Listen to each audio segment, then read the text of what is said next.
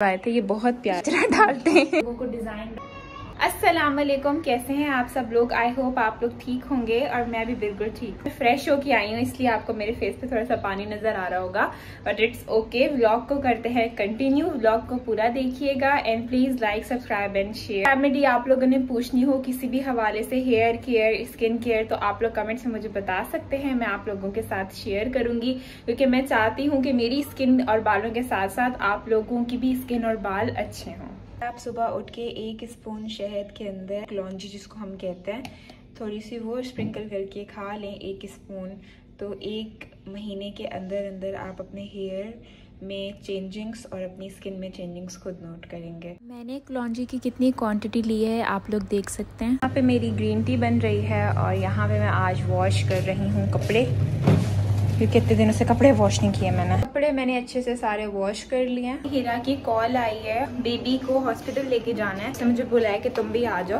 तो अभी चलते हैं। हीरा के घर जल्दी से मास्क पहन लेती हूँ। गर्मी तो बहुत ज़्यादा है। धूप देखें, इतनी तेज़ धूप निकली हुई है।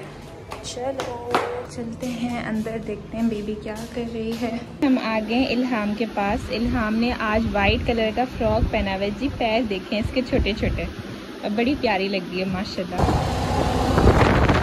हॉस्पिटल गए तो आगे से हॉस्पिटल बंद तो वापस हम घर की तरफ़ चले गए। आ गए सब्ज़ी लेने। मुझे यहाँ से बीट रूट लेना है क्योंकि इसकी रेमेडी बहुत अच्छी बनती है। अभी मैंने भाई से यहाँ सर्फ वगैरह लिया क्योंकि आज मुझे कपड़े धोने मैं आ गई हूँ घर मैंने फेस वॉश किया। बहुत ज़्यादा थक गई हूँ बहुत गर्मी थी लेकिन एकदम से हवा चली और काले बादल आ गए। मैं आप लोगों को दिखाती हूँ।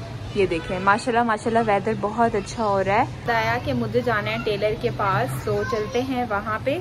और हीरा की खाला ने मुझे कल अपने घर बुलाया था तो वहाँ भी चलते हैं। पहले हम जाएँगे टेलर के पास। इंजॉय कर रही हूँ अपनी कोल्ड कॉफ़ी तकरीबन ख़त्म होने वाली है। क्या हो गया आपको? आपको भी पीनी है? फिर अब आया पहन के। बस चलते हैं टेलर के पास। इतनी अच्छी अच्छी हवा आ रही है। दिल कर रहा है मैं यहीं खड़ी हो जाऊँ। टेलर भाई की दुकान बंद है। उन्होंने बोला है कि आप वेट करें मैं आ रहा हूँ। बस यहाँ पे वेट कर रही हूँ मैं कि वो आ जाएँ फिर मैं अपने कपड़े उठा लूँ। मैं इस छोटे को भेज दिया है। तो ये मेरे कपड़े हैं, यहाँ पे वो आ जाएँ तो फिर उनसे लेते हैं और जाते हैं घर की तरफ़। एक है मेरा सूट ये ये देखें कितना प्यारा स्टिच किया है भाई ने। और इसका गला भी बहुत अच्छा है, ये इसका कॉलर है और इसका पजामे के नीचे भी मैंने इस तरह से लगवाया था।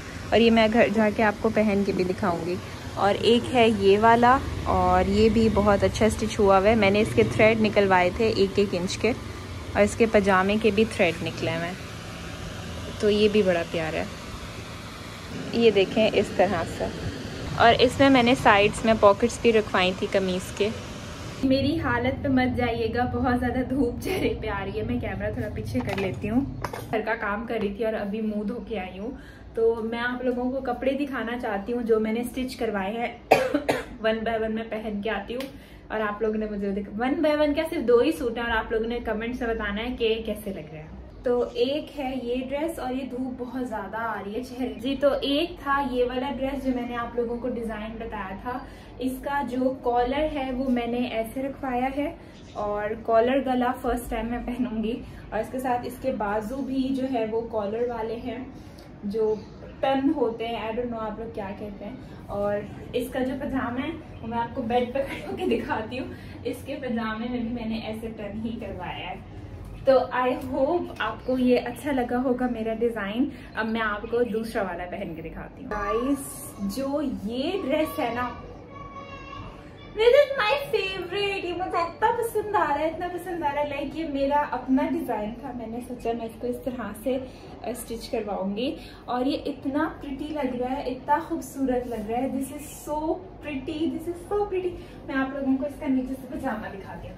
जो इसका नीचे से पजामा है, वो भी मैंने ऐसे ही स्टिच करवाया था। और मुझे ये बहुत बहुत बहुत बहुत पसंद आया है। लाइक इसकी फिटिंग भी बहुत अच्छी है और ये बहुत अच्छा स्टिच हुआ है। I really love this dress मुझे उससे ज़्यादा ये अच्छा लग रहा है। दोनों प्यारे लेकिन जो इसका डिज़ाइन है ना एंड ऑसम अब मैं ये आई एम जस्ट वेटिंग कि मैं कहीं जाऊँ और ये पहन के जाऊँ। मुझे तो ये बड़ा पसंद आया है और बहुत खूबसूरत लग रहा है। जो मैंने फ्लैक्सीड की जेल बनाई थी ओके। नेचुरल स्किन बोटॉक्स है, जिस आपको किसी भी चीज़ की ज़रूरत नहीं है। ना किसी नाइट क्रीम की। इतने इतने लोग पैसे भर के जाते हैं और स्किन ट्रीटमेंट करवाते हैं। किसी भी चीज़ की ज़रूरत नहीं है। लगा रहेगा। इसको लगा के बेशक आप अपने घर का काम किया करें, लेकिन इसको डेली लगाएँ ज़रूर। ना फेस वॉश करके आ गई हूँ और आप लोग रिज़ल्ट चेक करें कि स्किन कितनी ग्लोई और कितनी अच्छी लग रही है। और आप लोग भी ये ट्राई करके मुझे नीचे आप लोग प्लीज़ प्लीज़ प्लीज़ ये रेमेडी ट्राई किया करें। जो भी मैं आप लोग के साथ शेयर करती हूँ, सारी रेमेडीज ट्राई किया करें। बजाय आप कोई केमिकल वाली चीज़ें अपने फेस पे यूज़ करें। नेचुरल चीज़ों के रिज़ल्ट बहुत अच्छे क्योंकि काफ़ी हमारी लेडीज़ हैं जो इतनी महँगी चीज़ें अफोर्ड नहीं कर सकती हैं। तो आप लोग ये मस्ट ट्राई कीजिएगा। रिंकल्स के लिए स्किन आपकी लूज हो रही है डल हो रही है पिगमेंटेशन है आपकी फेस पे। तो उन सब चीज़ों के लिए बहुत अच्छा है। ये देखिए, मेरे पोर्स भी उसने डिसअपेयर करना शुरू कर दिया और स्किन कितनी ग्लोई और कितनी अच्छी लगी है।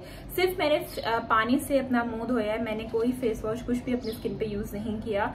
और अब मैं जा रही हूँ नहाने और मैं आजकल आप मेरे बालों की शाइन चेक करें, मैं अपने बालों के जो अभी मैंने बालों को कॉम नहीं किया तो भी मेरे बाल इतने अच्छे शाइनी हो रहे हैं, क्योंकि लास्ट टाइम भी मैंने इसी से ही अपना हेड वॉश किया था बेबी शैम्पू से, जिसके अंदर मैंने रोज मेरी लीव्स डाले थे, मैंने शॉर्ट्स में भी अपलोड किया होगा। तो मस्ट मस्ट मस्ट अभी मैं इसी से शॉवर लेने जा रही हूँ और इसकी वजह से मेरे बालों, बाल जो गिर रहे थे, बहुत ज़्यादा हेयर फॉल हो रहा था, वो सब खत्म हो गया है। तो आप लोग भी ये ट्राई करके ज़रूर देखिएगा। चलिए मैं तो जा रही हूँ, फिर आके आप लोगों से बात करते हैं। बेबी शैम्पू से मैंने अभी शावर लिया है और बेबी शैम्पू के रिजल्ट्स बहुत अच्छे हैं, बहुत अच्छे हैं। ये देखें, ये एक भी बाल मेरा नहीं गिर रहा और ना ही हाथ में आ रहा है तो मुझे बहुत अच्छा लग रहा नहीं तो पहले जब मैं नहा के आती तो इतने बाल गिरते थे, इतने बाल गिरते थे कि मैं आप लोगों को क्या ही बताऊँ। हूँ हिरा की खाला के घर और ये भी फोर्थ फ्लोर पे रहते हैं। जाना बड़ा मुश्किल है, लेकिन बस चलते हैं। First floor and this is second floor third floor fourth floor ये रहा उनका घर। उनके हस्बैंड भी कपड़े स्टिच करते हैं। ये उन्होंने स्टिच किया है। तो ये देखें ये कितना प्यारा है। और अम्मी ने भी इनसे कपड़े स्टिच करवाए थे। ये बहुत प्यारा बना हुआ है। कचरा डालते हैं लोग हैं? मैंने इनसे बोला है कि आप ये क्यों नहीं खोलते? कह रहे वहाँ से स्मेल आती लोग कचरा डालते हैं। बच्चे भाई टीवी देख रहे थे और ये पता नहीं क्या लगाया हुआ इन लोगों ने? कार्टून देख रहे हैं और सारे अभी बाहर चले गए इन्होंने यहाँ घर बनाया हुआ है कोई। खाना बहुत मज़े का है पुलाव और दाल भी और रायता भी। थैंक यू थैंक यू अभी घर बस चलते हैं अंदर। आ गई हूँ घर। बहुत ज़्यादा थक गई हूँ। बस अब कल जाएँगे दोबारा। टेलर को और कपड़े देने जाऊँगी और आप लोगों से और डिज़ाइन भी शेयर करूँगी कि मैं किस तरह से कपड़े स्टिच करवाऊँगी। अब ब्लॉग उम्मीद है आप लोगों को पसंद आया होगा। तो बस सब्सक्राइब कर दीजिएगा और शेयर कर दीजिएगा। ब्लॉग को करते हैं एंड। अल्लाह हाफिज। हाफिज कर दो। अल्लाह हाफिज।